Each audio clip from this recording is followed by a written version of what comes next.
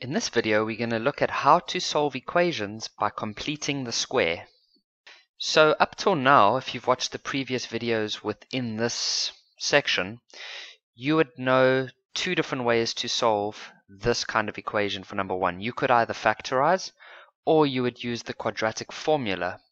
Those are both correct and they could work for this one as well. However, teachers would like us to know a third way and that is called completing the square. So in a test, you can use whichever method you like unless you have been asked to use a specific, specific um, type of method, okay? So there's three different methods. There's factorizing, solving by using the formula, and completing the square. Completing the square is a bit of a weird one. It's a bit tricky, but if you just practice it a few times it's it's very repetitive. It follows the same pattern every time. Just like what we saw with the square root questions in the previous video they become very repetitive once you've practiced them a few times. So the way to do it is the following. For number one I'm just going to write that out quickly. X squared minus 3x minus 4 equals to 0 now there are different ways of doing completing the square. So your teacher might have a slightly different variation to the way I'm going to do it. Don't panic check the final answer. That should always be the same. Okay, so some teachers do things slightly differently. They just do it in a, yeah, some teachers just do it in different orders. So what most teachers typically do is they will start off by moving the number that doesn't have an x to the right. If your teacher doesn't do that, that's absolutely fine. The next step is to write the x squared minus 3x as it is then you are going to say plus, then you're going to make a bracket. You're going to take this number, divide it by 2, and square it. Okay, so that is a, a very repetitive thing that we are going to see happening. You're always going to add the middle number or half of it and you're going to square that. Alright, now this is where it could get a bit weird because different teachers use different methods. But look what we've just done. We've just added something to the sum. Now that's not allowed. You can't just add something to a sum. So how do you undo that? You would have to minus that again, right? So some teachers are going to put the minus part over here and then put the 4 over there. And then in the next step, they'll take this term and they will move it over. Whereas some teachers, they will just take it over from the very beginning. So they'll do something like this. They'll just say equals 4 plus negative 3 over 2 squared. See, so they, instead of writing it over here first, they just put it on the right-hand side immediately. Now all that you're going to do is you're going to open up this bracket and in this bracket, you're going to put this term over here, that's just x, and you're going to put this part over there, which is minus 3 over 2, and you're going to put a square. This part here, you can just go type in on your calculator, and if you do that, you're going to get a value of 25 over 4. In the next step, we want to get rid of this square. So what do we remember in the previous video we wanted to get rid of a square root and so we added a square on both sides. Now we want to get rid of a square so we add a square root on both sides. Mathematically though whenever you add a square root you should always add a plus and a minus. And so what I mean by that is you're going to add a little plus and a minus on this side. And then the square root of 25 is, well, you can just type this all in your calculator, but the square root of 25 is 5, and the square root of 4 is 2. Now what you do, because remember, these quadratic equations, they should give us two answers. So let's choose the positive for now. So you're going to get, oh no, let's first leave that for now, and let's do this. Let's say x is equal to plus minus 5 over 2 plus 3 over 2. See, I've just brought this one over.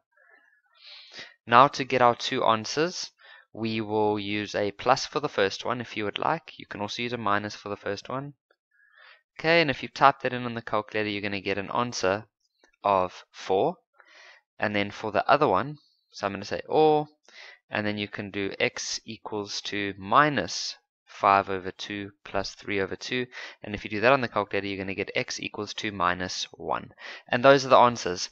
If you remember in the previous previous video, so I think two videos ago, maybe even three, the answer for that equation was 4 and minus 1, but at that time we used factorizing. So you can use factorizing, completing the square, and the formula, and they should all give you the same answer. They're just different methods of doing the sum. Moving on to number 2. So if that felt a bit tricky, then that's usually the case with maths. It will feel a bit weird in the beginning, but after we've done these five examples, you will have a good idea of what's going on. So the first step is we just obviously write out the equation. I'm going to switch things around a bit and put the zero on the right. There's no harm in doing that, like that.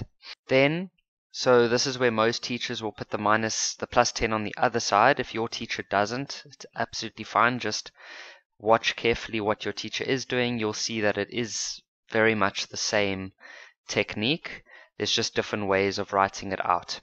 Okay, so the first part would be to just say x squared minus 7x. Then we're going to say plus, bracket, this number divided by 2 squared. Okay, so it's always like that. Then we could say minus the same thing over here, or we can just put it on the other side as a positive. Okay, there we go. So if you can remember how to do all that, that's the most difficult part. Now it's easy. We just go open up a bracket like that, and you take this one and this one. It's the two things that have the square. Can you see that? There's a square and there's a square. They go in the bracket. And then on the other side, you'll just type all of this on the calculator. Gives you 9 over 4. How do we undo the square? We then take the square root on both sides. Just remember the plus and minus in the front on this side. So on the left, you just get whatever inside the square inside the square, so it's just that. On the right, you get plus and minus. The square root of 9 is 3, and the square root of 4 is 2. And then you just bring the 7 over 2 over. There we go. And then to get your first answer, you could use the plus, for example. And that's going to give you an answer of 5.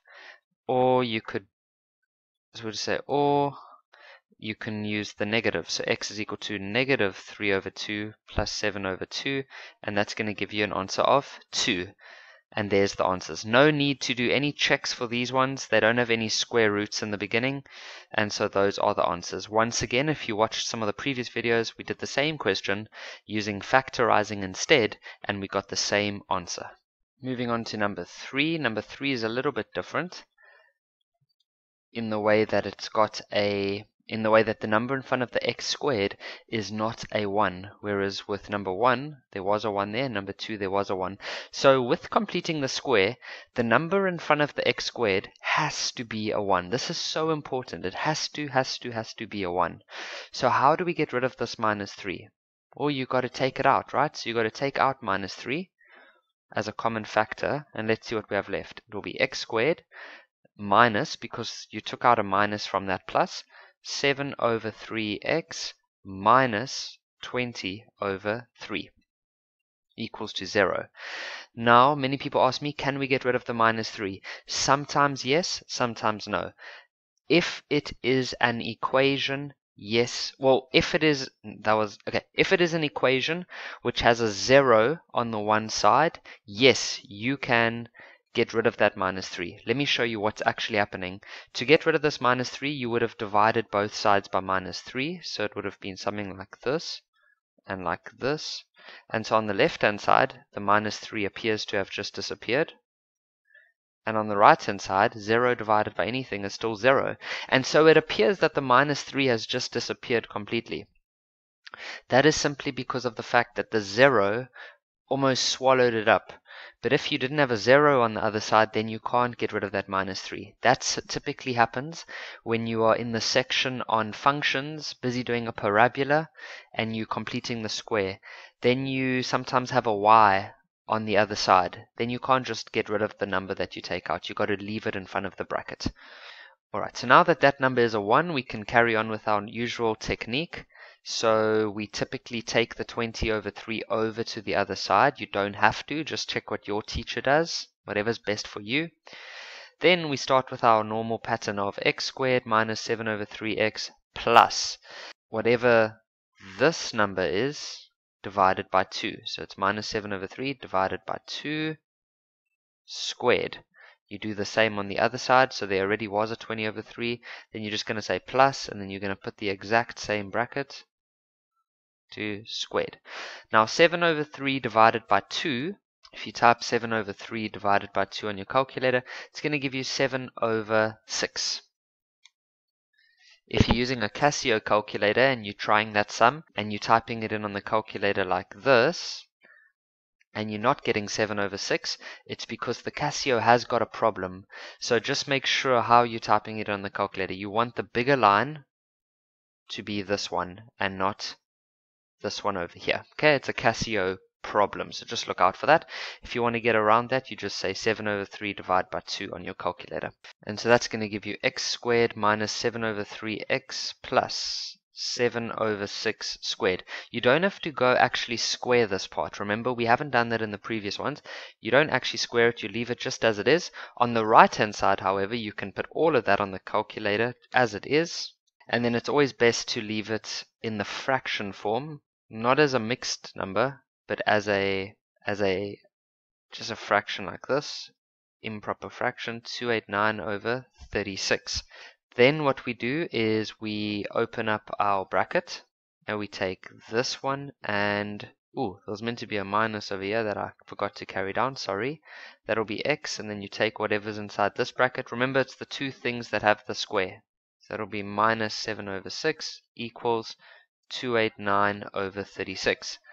Now what we need to do is get rid of the squares, so we square root both sides. And so that square root simply gets rid of the square on the left, so we get that. On the right, remember the plus minus, and if you type in the square root of that on your calculator, oh, it works out nicely, you get plus minus 17 over 6. We then take the 7 over 6 over, and then let's choose the positive for now, so that's 17 over 6 plus 7 over 6. That's going to give you 24 over 6, which is going to be 4. So that's the first answer. And then for the next one, we can take the negative, so that's negative 17 over 6 plus 7 over 6. And that's going to give us x is equal to negative 10 over 6. If you want to simplify that, 2 goes into both of those. That's negative 5 over 3.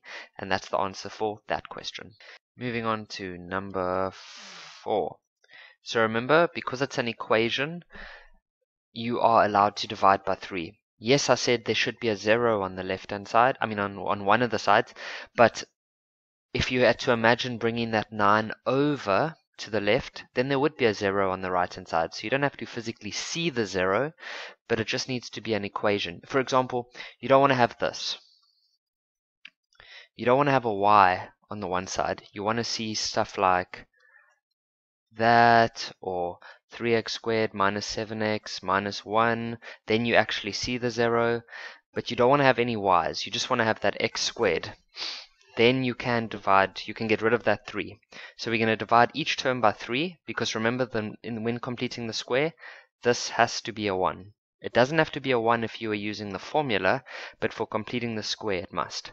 So if we divide that by 3, you get x squared. You divide 7 by 3, you get 7 over 3. And if you divide 9 by 3, you get 3. Remember, you must divide everything by 3, not just the stuff on the one side. And so now it's easy. We just go and follow our usual steps. So x squared minus 7 over 3x plus whatever this number is divided by 2 squared. Okay, so it's always the same thing. Then on the right, we already have a 3, and then you just add the same square bracket on this side. And now in the next step, we can simply open up the bracket and then have a x which is this one, and then we're going to use this one over here. 7 over 3 divided by 2 is the same as 7 over 6. And then on the right hand side, you'll just type all of this on the calculator, and that would give you a value of 157 over 36. The next step is then to take the square root on both sides, and that's going to give you x minus 7 over 6 equals to the plus minus square root of 157 over 36. You just type on your calculator. And when you do that, the calculator is going to give you a square root of 157 over a 36 that isn't in the square root. So that's absolutely fine. You just write it like that. Then we get x by itself, so we have plus minus the square root of 157 over 36 plus 7 over 6. So then for the first one, I would just use the plus. That's going to be x is equal to the square root of 157 over 36 plus 7 over 6. You then just type all of that in on the calculator. And so your first answer is going to be x is equal to 3.25. Or you could do the negative one, and that's going to give you negative square root of 157 over 36 plus 7 over 6. And that's going to give you Oh, I just realized that over here, this was meant to change to a 6, this was meant to change to a 6, and so was that meant to change to a 6. Luckily, the 3.25 is still correct because I was using my value that I had on the calculator. And so I just wrote it down wrong, so then that means that this one must also be a 6. And so if you type all that on the calculator, you're going to get a value of negative 0.92. And the last question for this video will be number 5.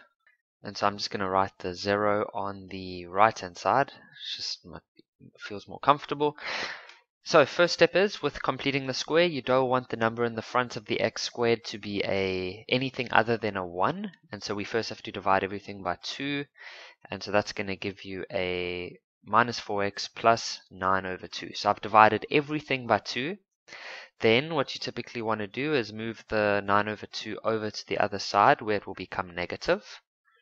And then we can start with the normal process. So it's x squared minus 4x plus this number, or sorry, this number over 2 squared equals, and then on the other side we've already got the minus 9 over 2, and then we just add this part as well. So it's minus 4 over 2 squared.